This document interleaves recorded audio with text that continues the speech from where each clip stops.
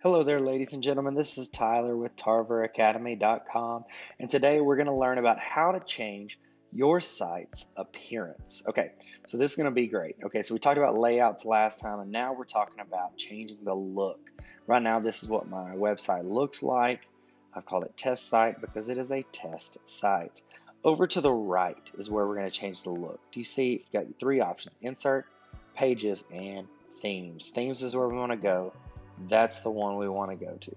I can change just by clicking on some of these. I can see what they look like, get an idea if I like that. These are just some real simple themes. Speaking of simple, you would click here and you could even change the color. Look at that, that's beautiful. Um, change the font style and go heavy. There we go. Look at this. This is absolutely incredible. Okay, and so there you go you've just figured out how to change the look of your website. Man, that looks clean. Okay, thank you guys so much for tuning in. If you could please subscribe and don't forget to keep being the hero in your classroom. See you next time.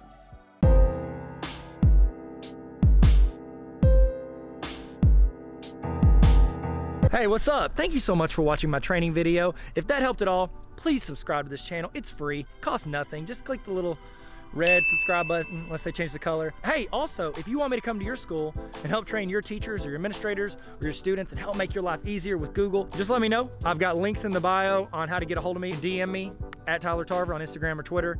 You can go hit my email, tylertarver at gmail.com, um, or you can just yell really loud. Maybe I'm close. Oh, I thought I heard somebody. You want me to come train you on Google? No? Okay. It'll be fun. We'll learn a lot. And I'll give you a bunch of resources. So thank you guys. Hey, did you subscribe? We talked about it earlier. No pressure. But if you want to, I'll be here. Just gonna wait right here. Look at this lighting. Oh, wow.